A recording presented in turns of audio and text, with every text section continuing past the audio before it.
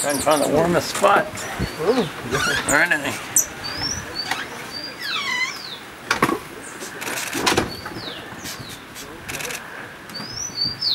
Well,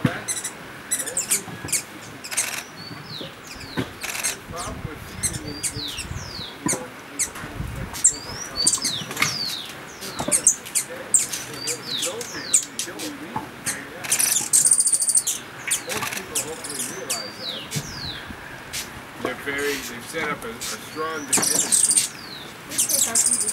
Yeah, we do too. We take them down in the fall, get them to migrate out.